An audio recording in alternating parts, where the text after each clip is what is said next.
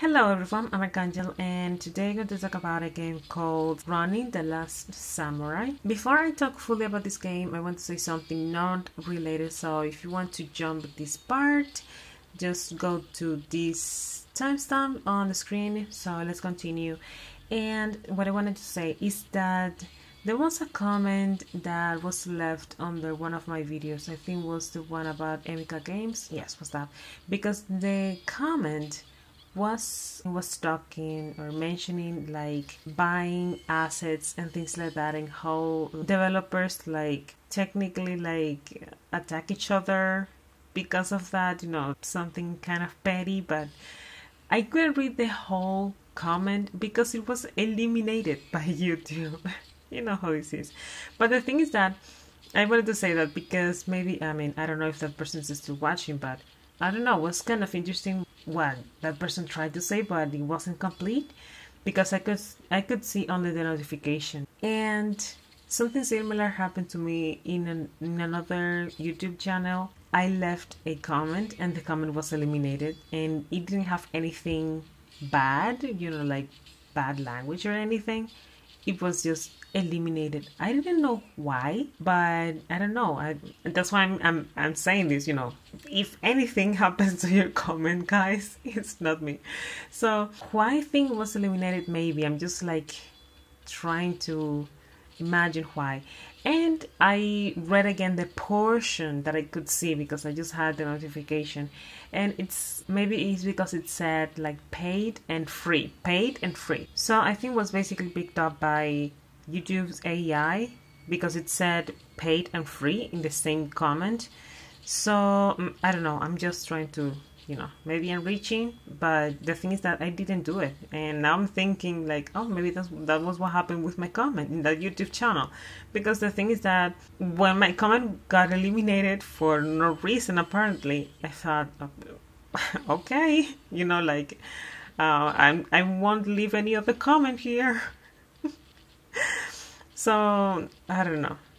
I think the those AI sometimes are like uh, just picking whatever. Right? So let's continue with the game and let's start by saying that this game was recommended to me a lot of times, a lot. So I didn't want to play it because it was black and white because it's black and white. So you know, at the moment I was like black and white today.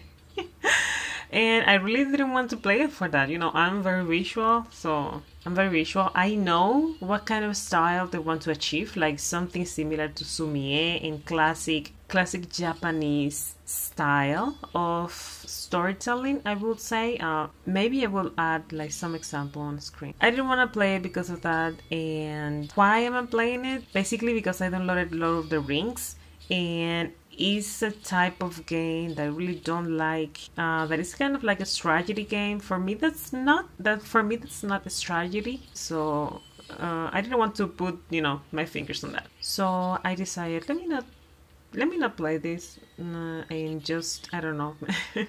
the game was made by the Warner Brothers, so I was expecting something else, but um, I don't know. It looks like let's so let's go back to Ronin uh, The Last Samurai. The game looks very simple, but at least for me, was very cool. Like, you know, the mechanically, I mean, it's a fighting game, but the game is about reflex more than anything. But I found it really cool. I was thinking at first, like, how can you play in a game just with three buttons? And yes, you can do it. I think it's interesting how they did it. And now let me talk, I mean, now that I settled that, let me talk about the things that I like. I mean, that's the thing that I like. But anyways, other things that I liked are the voices okay i always like a very good voice acting and this one is very good it's japanese i must say that i got a little bit um, i don't know I'm going to talk about that uh, later on, but basically about the Japanese voices, the name of the gaming, all that. I'm going to talk about that at the end. Uh, the thing is that I really liked the voice acting, pretty cool. I that's something that I always appreciate. Other thing I liked are the menus and things like that they can look a little bit complicated at the beginning but it's actually pretty easy to navigate. Also i have to point out that at the beginning of the game i received not exactly like a warning but something like oh this is, is important. It was in spanish so you know i'm going to try to say basically the juice of the thing. So basically they said that this game has like paying mechanics you know like if you pay you are going to advance faster in the game. So that was something that I that they established at the beginning. And how can I say if you don't like pay to win games, uh, that's pretty okay. But that someone like um, the fact that a company can be upfront with that, I find that pretty good.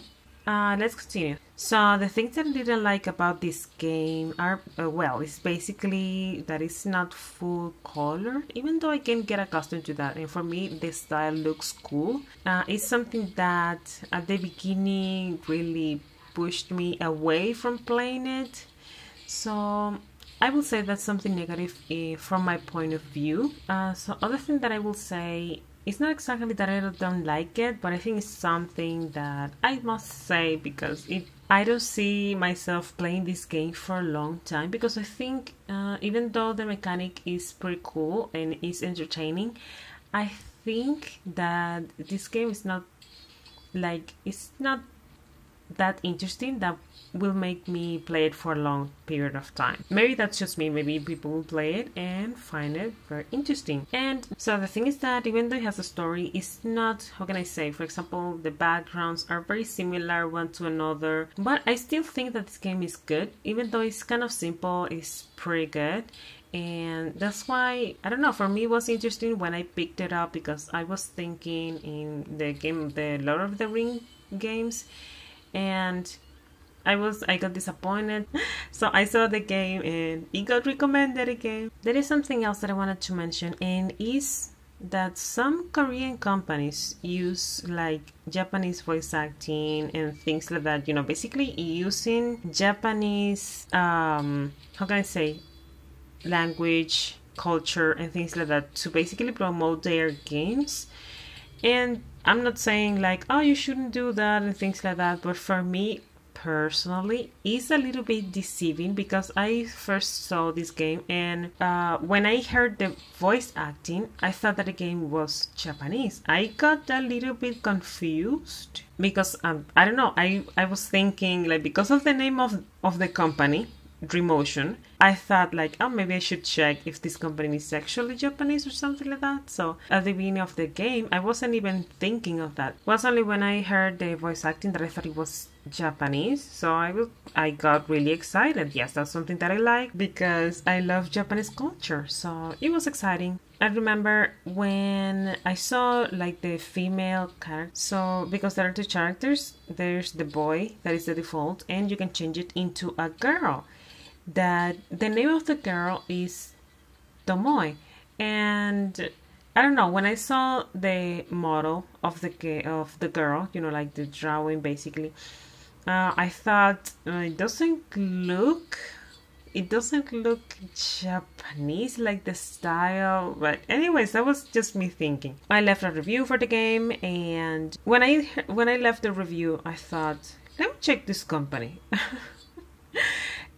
the company is actually Korean. So I'm not saying that games shouldn't do that. There's also this new game called Project Eve that was um, into a controversy because of, of like the girl was too sexy and things like that. And was the same. It's like the game has Japanese voice acting. I may be wrong, okay. I was questioning myself, is this real Japanese? Because the models of of the game didn't look Japanese. So I thought, let me investigate that. And there were a lot of people also asking the same: Is this game Japanese? Is this, uh, is this game really Japanese and things like that? So you know, it's not it's not like oh, it's bad and you shouldn't do that.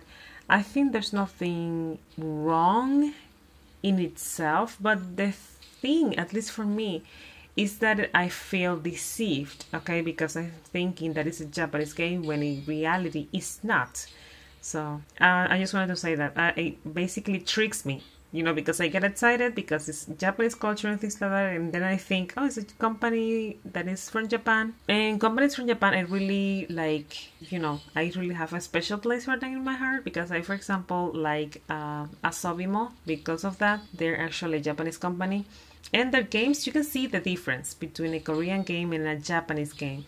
At least in their case, okay, I'm not saying all of them are like that, but the thing is that I feel deceived because I put Japanese games, you know, in a special place. oh my gosh. So, anyways, guys, I just wanted to say that. So, guys, I think uh, you know this game is not like complicated or any, or anything, but I think that if you play it, you're going to have a really good time. I really had it, and I mean, I'm still playing. I'm still playing. so, those are the things that I really wanted to say about this game and that's it. I think we see each other in another video. Maybe the next video is going to be kind of like i want to make a halloween special. Even though there are not many people following my videos i want to do it because it's something pretty unique that i never had like the opportunity to share. So there's going to be a halloween special. How silly of me. But anyways guys see you in another video. Have fun and thank you for watching